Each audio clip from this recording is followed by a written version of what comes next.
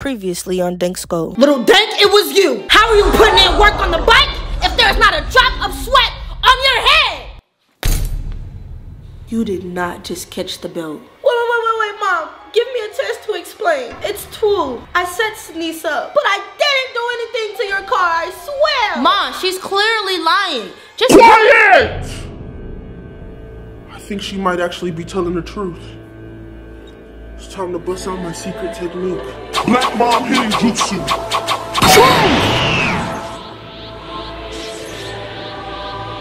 Police!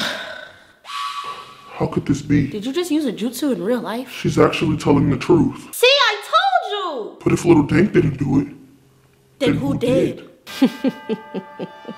I think it's time I make an appearance.